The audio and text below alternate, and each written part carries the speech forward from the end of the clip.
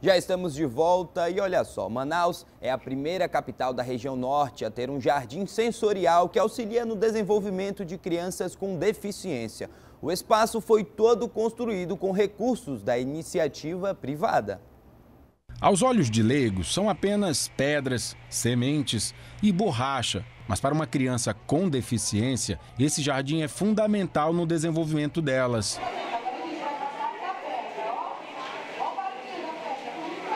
Eles vão conseguir discernir o que é áspero, o que é liso, porque vai ter todo um trabalho individual por meio dos nossos programas de atendimento oferecido neste complexo. O jardim foi construído dentro do complexo de educação especial no conjunto Vila Amazonas. O local recebe diariamente 120 crianças com deficiência. A obra foi mais um fruto da parceria público-privada.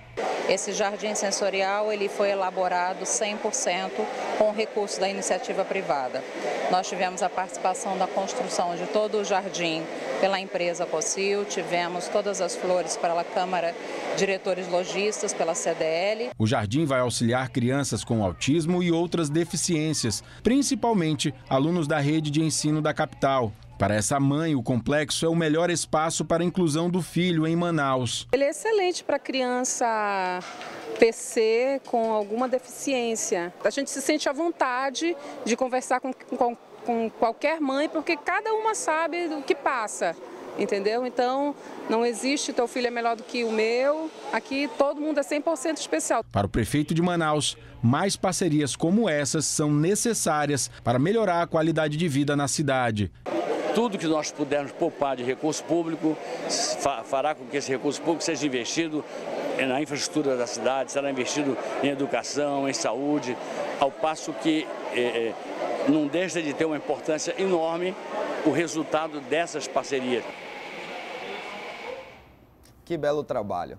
Olha, hoje é Dia Internacional de Luta contra o Câncer Infantil. A gente vai te mostrar o trabalho desenvolvido pelo Grupo de Apoio à Criança com Câncer, o GAC, que há 20 anos ajuda famílias que convivem com essa doença.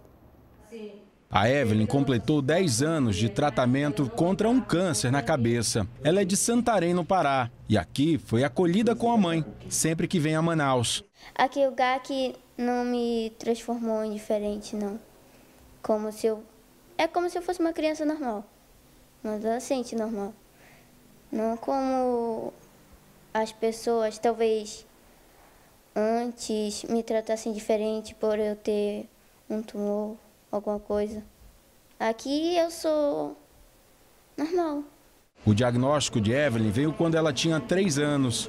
Para a mãe, foi devastador. Quando a gente vem em um tratamento, né, a gente procura de qualquer forma se isolar.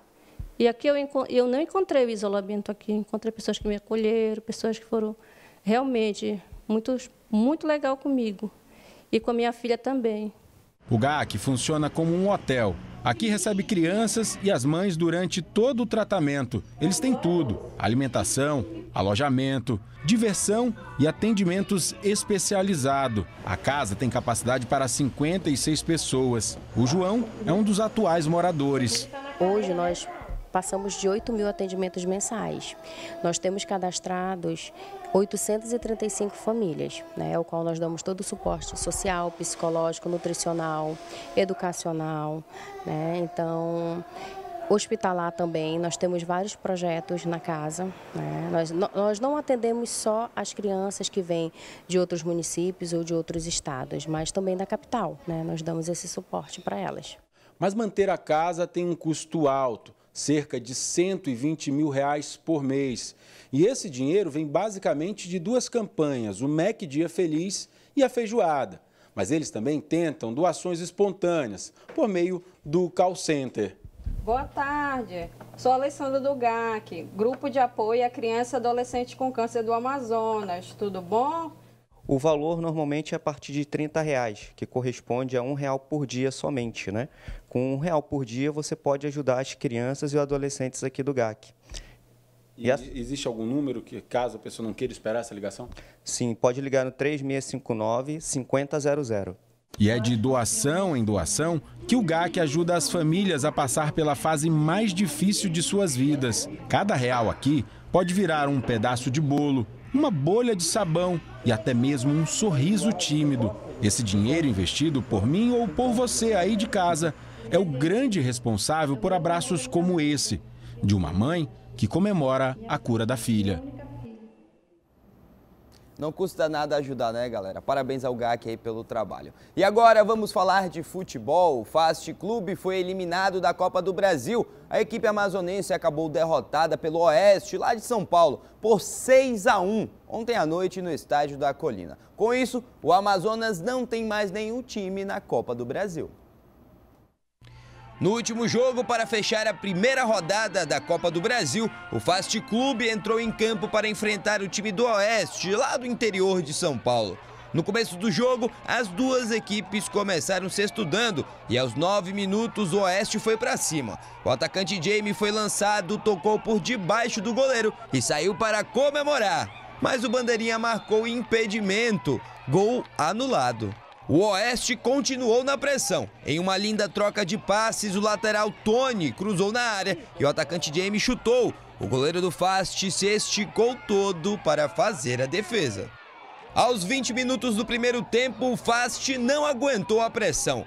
Jamie dá um lindo passe de peito e o lateral Alisson chutou forte para abrir o placar. Oeste 1 a 0. Aproveitando o apagão da defesa do Fast, um minuto depois, o meio-atacante Bruno Lopes foi lançado e chutou no canto do goleiro, 2 a 0. Depois disso, as duas equipes criaram pouco e o jogo ficou morno. Fim do primeiro tempo, Fast 0, Oeste 2. No segundo tempo, o Oeste começou na pressão. Logo aos 3 minutos, depois de uma linda tabela, o meio-atacante Elvis dominou no peito e chutou para o gol. 3 a 0 Oeste. Não vai perder a conta, hein? Aos 36 minutos, a bola sobrou na área e depois de um cruzamento, o atacante Jamie ampliou para o Oeste. 4 a 0. O gol de honra do Fast veio aos 38 minutos. Robinho recebeu e de fora da área fez um golaço. Oeste 4, Fast 1. Um minuto depois, a bola bateu na mão do zagueiro dentro da área. Pênalti para o Oeste. O atacante Bruno Xavier foi para a cobrança e o goleiro defendeu. Mas o juiz mandou voltar, o goleiro se adiantou. Bruno foi novamente para a cobrança e dessa vez colocou na rede. 5 a 1 Oeste. É, meus amigos, para quem pensou que não poderia ficar pior para o time amazonense, Bruno Xavier puxou o contra-ataque e deu de presente para Jamie fechar o placar e marcar o segundo dele na partida. 6 a 1 para o Oeste.